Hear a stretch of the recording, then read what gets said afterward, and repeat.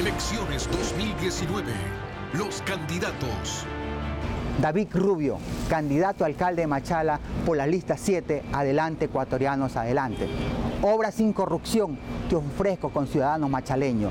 27 años no han podido solucionar el asunto de agua potable y alcantarillado. Te ofrezco seguridad. Los primeros meses de administración crearé la Comisión de Seguridad Ciudadana. Una ciudad segura será una ciudad bonita, una ciudad limpia, una ciudad con agua potable, alcantarillado.